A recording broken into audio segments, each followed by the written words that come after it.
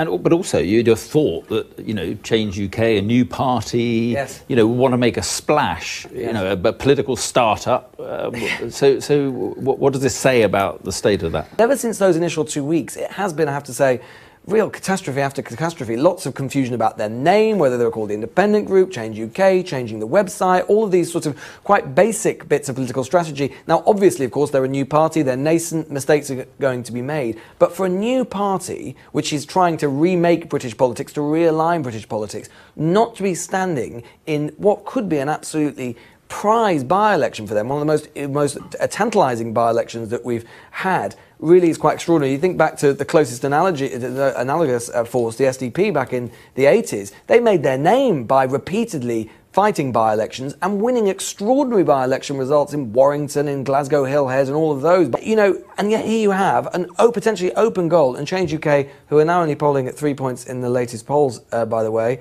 have decided clearly to pass it up.